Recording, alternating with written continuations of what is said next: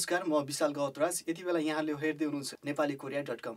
आज हामी नेपालबाट पाल्नुभएका चर्चित गायिका इन्दिरा जोशीसँग कुराकानी गर्ने क्रममा रहेका छौँ। आउनुहोस् उहाँसँग कुराकानी गरौँ। उहाँलाई कार्यक्रममा स्वागत गरौँ। नमस्कार। नमस्कार। यहाँलाई हाम्रो यस नेपाली कोरिया डट कममा हार्दिक स्वागत छ। हजुर धन्यवाद। यू यहाँ अहिले कोरिया अब कार्यक्रमको सिलसिलामा आउनुभएको छ। कतिको कति दिनसम्मको यात्रा तय गरेर आउनुभएको छ बेसिकली म यो आरिराङ माइग्रेन्ट फेस्टिभलको लागि चाहिँ आएको थिएँ कन्सर्टमा आएको थियो। सो नेपालबाट चाहिँ रिप्रेजेन्ट गर्दै म र शिव परिवार दुईजना कलाकारहरू हामी आएका थियौँ। त्यो कार्यक्रम त सकिसक्यो। त्यसबाहेक पनि अलिक दिन पछाडि अब छुसक यहाँको विशेष हाम्रो उताको दसैँ जस्तो बेलामा हामी सम्पूर्ण नेपालीहरूको पनि विदा हुने हुनाले फेरि पनि अर्को प्रोग्राम देखाउने हिसाबले अहिले चाहिँ यहीँ कोरियामै छु। अनि गायिका इन्दिरा जोशी भनेर अहिले पछिल्लो समयमा निकै नै चर्चाको शिखरमा पुग्न सफल हुनुभएको छ। र त्यहाँसम्म अथवा भनौँ यहाँसम्म स्थानमा आउनुको लागि तपाईँलाई सहयोग गर्ने अथवा चाहिँ तपाईँले कसरी त्यतिको स्थान गर्न सफल हुनुभयो त त्यतिको उच्च स्थान? Basically it was always my dream र पहिलेदेखि नै एउटा सिङ्गर बन्छु भन्ने एउटा सपना चाहिँ थियो।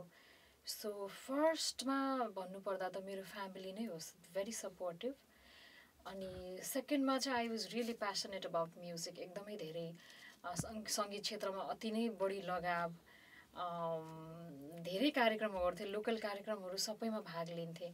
सो एउटा मेरो आफ्नो प्यासन एउटा परिवारको सहयोग र मेन द फोरमोस्ट भन्नुपर्दा चाहिँ हाम्रो दर्शक श्रोता उहाँहरूलाई नै जान्छ यसको श्रेय। सो यो सबै चिजको आई थिङ्क सम्पूर्ण सबैजना को एउटा राम्रो योगदानले नै अहिले चाहिँ आई थिङ्क यहाँसम्म आइपुग्न सफल भएको छ। अनि यहाँको चाहिँ पछिल्लो पल्ट चर्चामा निकै नै रहेको छ एउटा लुट लुट चलचित्रको गीत। र यो यहाँ यो गीतले नै यहाँलाई यति नै निकै नै प्रचलित र पपुलर बनायो कि सायद नचिन्नु भएको दर्शक श्रोताहरूले पनि यहाँलाई चाहिँ चिन्ने मौका पाउनु भएको छ। यहाँले यस यस गीतबारे के प्रतिक्रिया दिनुहुन्छ यहाँ धाराको अलि राम्रो मुभी आउन थाल्यो। त्यस बाहेक पनि गीतहरू पनि अलिकति सबै श्रोताहरूलाई रमाइलो गर्ने बेला पनि गीतहरू चाहिन्छ नि। बेसिकली हामी अरू गीतहरू नै सुन्छौँ। बलिउड हलिउडतिर बेसिकली क्लबमा होस् जहाँ होस् त्यस्तो गीतहरू बज्ने।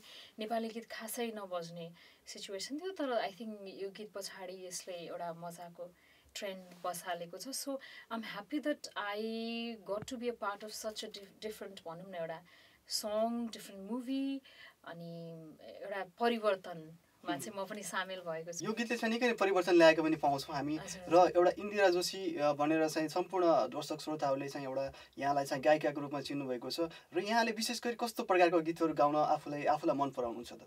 बेसिकली म भनेको अलिकति मोर अफ लाइक ह्याप्पी बढी हुने नेचर भएर होला। मलाई अलिकति दुःखको भन्दा खुसीको गीत गाउनुपर्छ जस्तो लाग्यो। अनि मेरो जुन उमेर छ आई थिङ्क यो उमेरमा म चञ्चल भएर पनि मान्छेले मलाई यसको त उमेरै हो हाँस्ने खेल्ने नाच्ने गाउने भन्ने हिसाबले एक्सेप्ट गर्नुहुन्छ। सो त्यस हिसाबले मैले के सोचेँ होइन अहिलेलाई भने let's do some peppy and groovy नम्बर्सहरू म धेरै नेपाली तारामा फिमेल नम्बर वान कन्टेस्टेन्ट भएको थिएँ त्यस पछाडि म धेरै कन्सर्टहरूमा पनि जाने मौका पाएँ। यसो सोच्दा सेन्टिमेन्टल नम्बर सुन्दा दर्शकहरू अलिकति बोर भएको। सो डान्सिङ नम्बर्सहरू खोज्नु हुँदो रहेछ सो मैले सोचेँ मेरो एल्बम गर्दा आई थिङ्क यस्तो गीतहरू गर्नुपर्छ भनेर। लेटली रिसेन्टली अब आउन लागेको गीत भनेको प्योर रक नम्बर गर्दैछु मैले। मेरो आफ्नै शब्द र सङ्गीत चङ्गा चेट भन्ने। आई थिङ्क त्यसमा तपाईँले फेरि मेरो डिफ्रेन्ट सिङ्गिङ चाहिँ देख्न सक्नुहुन्छ। र यहाँलाई गायिका इन्दिरा जोशी भनेर स्थापित गराउने इस्टाब्लिस गराउने फर्स्ट सङ्ग कुन हो त यहाँको? फर्स्ट सङ चौबन्दी चोली अनि रातो खाँगरा तर आई थिङ्क आधुनिकमा भन्नुपर्दा टुट्यो तारा आकाशमा भन्ने एउटा गीत छ। त्यो धेरैले मन पराउनुहुन्छ भिडियोहरू नभए पनि धेरै नै त्यसको डिमान्ड आउँछ म कुनै पनि कन्सर्टमा जाँदा। रिमिक्समा भन्नुपर्दा माछी मारन अनि आई थिङ्क त्यस पछाडि चाहिँ बल्ल मैले मेरो एल्बम रिलिज गरेँ। अलिक ढिला मात्र गरेछु। त्यसबाट चाहिँ चौबन्दी चोली अनि रातो घाँग्रा भन्ने गीत नै हो। त्यस पछाडि मात्र उद्रेको चोली उद्रेको चोलीले पनि यहाँलाई निकै माथि पुऱ्याइरहेको छ। के यहाँले हामी हामी हाम्रो नेपाली कोरिया डट कम हेरेर बस्नुभएका सम्पूर्ण दर्शक तथा श्रोताहरूलाई यो स्वाद चखाउन चाहनुहुन्छ? ओके म दुई लाइन गाएर सुनाउँछु। छुन्नलाई होइन। हेर्न चाहिँ पाइन्छ। छुनलाई होइन। हेर्न चाहिँ पाइन्छ। आँखालाई सेक्न जति नि पाइन्छ। उध्रेको चोली छ है तै पनि लाइन्छ। उध्रेको चोली छ है तै पनि लाइन्छ। मेरो ओठको लाली अरू कहाँ पाइन्छ मेरो ओठको लाली अरू कहाँ पाइन्छ उध्रेको मेरो चोली हेर्न कहाँ पाइन्छ उध्रेको चोली छ है तै पनि लाइन्छ पछिल्लो पटक जुन यो लुट चलचित्र कोरियामा प्रदर्शन भएर यो गीत निकै नै दर्शक तथा कोरियन कोरियामा रहेका सम्पूर्ण नेपालीहरूको चाहिँ मन मुटुमा चाहिँ प्रश्न र बिजनेस सफल भएको थियो उत्रेको चोली। र र नेपाली कोरिया डट कम हेर्न पाउनुभएका दर्शक र श्रोताहरूले पनि उहाँकै स्वरबाट सुन्न पाउँदा उहाँहरू पनि अवश्य यहाँबाट सन्तुष्ट हुनु हुनेछ. र यहाँको साङ्गीतिक जीवनको सुरुवात अथवा चाहिँ यहाँको साङ्गीतिक जीवनको केही पृष्ठभूमि यहाँले जानकारी गराइदिनु मलाई चाहिँ हजुरको इन्ट्रेस्ट भनेको धेरै सानो उमेरदेखि नै इभन मेरो मम्मीले भनेको याद आउँछ जस्तो मम्मी दिनभरि कामहरूमा बिजी हुनुभयो होइन साँझ म यदि गाएको सुने भने थकान नै मेटिने त्यस्तो मिठो लाग्थ्यो मलाई तेरो स्वर भन्नुहुन्छ मम्मीले। तर म फेरि नाच्नतिर मात्रै नाच्न इन्जोय गर्ने। म्युजिक अलिकति बजे कि आफै हल्लिहाल्ने अरू डान्स गरे कि त्यस्तो। अनि मम्मीले चाहिँ पछि हाम्रो अशोक श्रेष्ठ भनेर हुनुहुन्छ म खास नवलपरासीको परासी बजारमा जन्मेको हुँ। अनि चाहिँ दादालाई मम्मीले बोलाएर यसले गाउँछ पनि एकचोटि चेक गर्नु भन्नुभयो। सो गाएँ राम्रो भयो त्यस पछाडि म कम्पिटिसनहरूमा भाग लिन थालेँ सिङ्गिङ कम्पिटिसन अलिकति डान्सिङ पार्ट कट गरेर सिङ्गिङतिर बढी फोकस हुन थालेँ। त्यस पछाडि चाहिँ म क्लास फाइभमा पढ्दाखेरि को भन्दा को कम भन्ने एनटिभीबाट एउटा सिङ्गिङ कम्पिटिसनमा भाग लिएको थिएँ। त्यसमा फर्स्ट भए पछाडि चाहिँ everybody was happy mummy daddy परासीमा सबैजना। सबैजना चाहिँ ओहो अब गायिका बन्नुपर्छ गायिका बन्नुपर्छ। भन्नुहुन्थ्यो। अनि म्युजिक सिकाउनु छोरीलाई काठमाडौँ पठाउनु तर मम्मी फेरि अब कोही छैन काठमाडौँमा। त्यसरी रिलेटिभकोमा नराख्ने भनेर मान्नु भएन। त्यस पछाडि एसएलसी दिए पछाडि पाँच वर्ष पछाडि मात्र काठमाडौँ आएँ। एक वर्ष पनि त्यत्तिकै आइसोलेटेड थाहा भएन कहाँ सिक्ने के गर्ने। किनभने फ्यामिलीमा कोही पनि हुनुहुन्न। त्यस पछाडि डोरेमीको बारेमा धेरै पत्रिकामा आउने भएर डोरेमीमा जोइन भएँ क्लासिकल म्युजिक सिकेँ।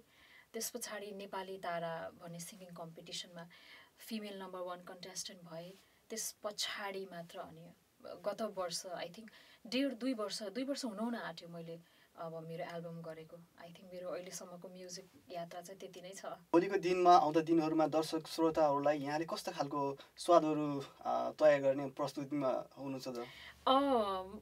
मैले चाहिँ अलिकति मलाई इन्टरनेसनल प्रोजेक्टहरूमा पनि इन्ट्रेस्ट छ। अहिले तपाईँले जस्ट वान क्लिक भन्ने गीत हेर्नु होला। मैले श्रीलङ्कन। जर्मन अरू आर्टिस्टहरूसँग मिलेर कोलाबोरेट गरेर गीतहरू गरेको छु। अहिले नेपालमै पनि धेरै यङ हिपहप आर्टिस्टहरूसँग पनि काम गर्दैछु। र अहिले छिटै नै आउनु लागेको मैले रक नम्बर पनि मेन्सन गरेँ। अब हल्का जाजी नम्बर पनि आउँदैछ। मोर अफ लाइक फ्लेमिङ्गो पनि गर्दैछु एउटा। सो र इङ्ग्लिस नम्बर्सहरू बेसिकली भन्नुपर्दा किनभने मैले पछिल्लो समयमा ब्यान्डहरूसँग पनि धेरै गरेँ। र मलाई घरमा भन्नुपर्दा त पहिला तैँले इङ्ग्लिस गाएको मनपर्छ। त्यसपछि तैँले हिन्दी गाएको राम्रो लाग्छ। अनि बल्ल नेपाली। सो मेहनत धेरै गर्नुपर्छ है भन्छ। घरमा। सो इङ्ग्लिस नम्बर्सहरू पनि लिएर आउँदैछु मेरो आफ्नो शब्द सङ्गीतमा। सो त्यही नै छ। आई थिङ्क मेरो त सुरुवात जस्तो लाग्छ मलाई। सो अझ धेरै समय छ मसँग गर्नको लागि। So keep your eyes on me त्यही भएर तपाईँले धेरै विभिन्न किसिमको गीतहरू सुन्न पाउने हुनुहुन्छ। भविष्यमा र एउटा राष्ट्रिय गीत पनि गर्दैछु। एउटै जननीका सन्तति हामी पहाडी कुन कुन मधेसी भन्ने एउटै माटोमा फुलेका फुल हौँ लेखको कुन कुन बेसीको भन्ने हामी नेपाली भन्ने एउटा गीत पनि गर्दैछु। इन्दिरा जोशीले यो साङ्गीतिक यात्रा सुरु गरेदेखि बिर्सन नसक्ने त्यस्तो पल कुनै त्यस्तो क्षण घटना त्यस्तो कुनै भएको छ यहाँको अनुभवमा? मलाई अलिकति मेमोरेबल भन्नुपर्दा नाम्चे तिन दिन हिँडेर माथि नाम्चेमा गएर पर्फर्म गरेर फेरि हामी त्यत्रो जे जे होस् हाम्रो दस दिन लाग्यो एउटा सोको लागि दस दिन खर्च गरेको थियौँ। र मैले विभिन्न ठाउँहरू घुम्न पाएको छु आफ्नो देशको। बाहुन्नवटा जिल्लामा गइसकेँ भनौँ न मेजर जति जहाँ जति पनि कार्यक्रमहरू हुन्छ धेरै गइसकेँ सो मलाई त्यो सबै चिज मलाई एउटा एकदमै अविस्मरणीय क्षणहरू धेरै छन् धेरै धेरै नै छन्। यहाँले अघि अ, कुराकानीको क्रममा भन्नुभयो मैले चाहिँ फर्स्टमा चाहिँ मेरो मम्मीले इङ्ग्लिस गीत गाएको मन पराउनुहुन्छ त्यसपछि हिन्दी गीत र त्यसपछि नेपाली गीत गाएको मन पराउनुहुन्छ भन्नुहुन्छ। र अहिले विशेष गरी वर्ल्ड वाइड चाहिँ इङ्ग्लिस गीत छ होइन? अब चाहिँ इङ्ग्लिसमा पनि धेरै ब्यान्डहरू आर्टिस्टहरू छन् र यहाँको पनि कुनै त्यस्तो फेभरेट होला। र यहाँले इङ्ग्लिस गीत चुज गर्नुपर्दा इङ्ग्लिस गीत के हाम्रो दर्शक श्रोताहरूको लागि के इङ्ग्लिस एउटा गीतको चुक्का सुनाउन सक्नुहुन्छ? यहाँको फेभरेट ब्यान्ड अथवा चाहिँ कुनै आर्टिस्टको थुप्रैजना थुप्रै हुनुहुन्छ तर अलिसिया किजको फलेन भन्ने गीत सुनाउन चाहन्छु अहिलेलाई भने। हुन्छ Okay. I keep on falling in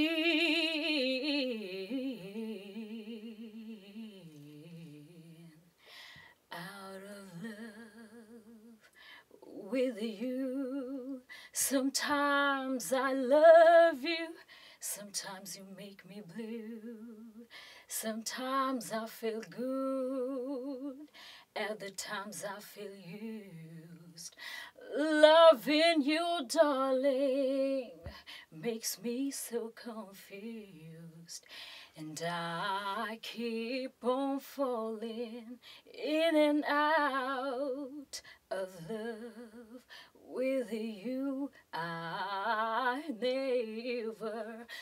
loved someone way that I loved you. Thank you. यहाँलाई चाहिँ निकै नै राम्रो एउटा चाहिँ गीत प्रस्तुत गर्नुभएको छ इन्टरनेसनल ब्यान्ड अथवा चाहिँ इन्टरनेसनल आर्टिस्टको पनि एउटा गीत प्रस्तुत गर्नुभएको छ यहाँले र यहाँले भन्नुभयो मलाई चाहिँ वर्सटाइल खालको चाहिँ एउटा चाहिँ सबै खालको गीत गाउन मन पराउँछु भनेर हजुर हजुर भविष्यको आउने दिनहरूमा यहाँले कस्तो खालको चाहिँ पृथक ल्याउने कोसिसमा हुनुहुन्छ त आई थिङ्क अहिलेको समय भनेको एकदम टफ छ कम्पिटिसन मैले तपाईँलाई पहिल्यै भने गजल थियो गजल पनि गाउँथेँ तर आई थट लाइक एउटा समय उमेरको हिसाबले डिफ्रेन्ट केही गर्नुपर्छ भनेर त्यसरी गरेँ मैले। सो एक्सपेरिमेन्ट म सधैँ गर्छु जस्तो लाग्छ मलाई। गीतमा चाहिँ बेसिकली एकदमै र जे चिज डिफ्रेन्ट छ आई थिङ्क त्यो छिटो नोटिस हुन्छ। सो दर्शक श्रोताको लागि पनि अप्सन्स धेरै छ अहिलेको समयमा। यो सुन्ने त्यो सुन्ने तर उहाँ पनि दे भेरी कन्फ्युज र आई थिङ्क जुन चिज अलिक डिफ्रेन्ट र अट्र्याक्टिभ छ त्यसले उहाँलाई पक्कै पनि तान्नेछ सो त्यो चाहिँ म पक्कै पनि प्रयास गर्नेछु। दर्शक तथा श्रोताहरूलाई पनि इन्दिरा जोशीको बारेमा केही जान्ने इच्छा होला होइन? यहाँको पारिवारिक अथवा चाहिँ वैवाहिक वैवाहिक स्थितिबारे जानकारी जान्न चाहनुहुन्छ होला? यहाँले आफ्नो बारेमा के भन्नुहुन्छ? I'm I'm still single am and I'm not ready to mingle अहिलेलाई चाहिँ करियर नै छ सो विशेष मेरो बारेमा भन्नुपर्दा अब मम्मी ड्याडी परासीमै बस्नुहुन्छ। मेरो दिदीहरू बाहिरतिरै हुनुहुन्छ बाहिर बाहिरतिरै म मात्र नेपालमा हो। यहाँ कोरिया आउनुभएको छ। अन्य कतिपय मुलुकहरूमा यहाँले कस्ता कस्ता किसिमका प्रस्तुति गर्नु मैले अहिलेसम्म दसवटा देश गएँ। प्राय सबै खाल सबै किसिमको गीत गाउँछु किनभने त्यहाँ श्रोताहरू सबै खालको दर्शक श्रोताहरू नै सबै किसिमका आउनुहुन्छ न प्राय सेटमा चाहिँ म एउटा आधुनिक गाउँछु त्यसपछि एउटा रिमिक्स गाउँछु त्यसपछि हल्का लोक त्यस पछाडि मेरो अरू चलेको जस्तो अब तपाईँको आइटम सङ भयो। मेरो एल्बमको गीत भयो सो त्यो सबै मिक्स गरेर गाउने प्रयास गर्छु सधैँ सबै ठाउँमा। त्यो समय स्थान अनुसार दर्शक श्रोताहरूलाई पनि त्यत्तिकै रुचाउन सक्नु तपाईँको क्षमता हामीले प्रयास गरेको छु अहिलेसम्म त राम्रो छ। नेक्स्ट विकमा चाहिँ हाम्रो जो छुसक कार्यक्रम परिरहेको छ र छुसकको कार्यक्रममा यहाँले दर्शकहरू श्रोताहरूलाई कस्तो खालको एउटा प्रस्तुति लिएर आउनुभएको छ त मैले त रमाइलो रमाइलो गीतहरू लिएर आएको छु नयाँ गीतहरू पनि छन्। लास्ट इयर आउँदाखेरि भन्दा अहिले थपिएका छन् केही गीतहरू सो आई थिङ्क तपाईँहरू पहिला आउनुहोस् हेर्नुहोस् भन्न चाहन्छु। अहिले नै चाहिँ धेरै। कुरा इट्स अ सरप्राइज अहिले नै चाहिँ नभनौँ र अन्त्यमा यहाँले भन्नुपर्ने कुराहरू त्यस्ता केही छुटेका तिता मिता क्षणहरू छन् भने यहाँले चाहिँ हाम्रो दर्शकहरूलाई भन्न सक्नुहुन्छ।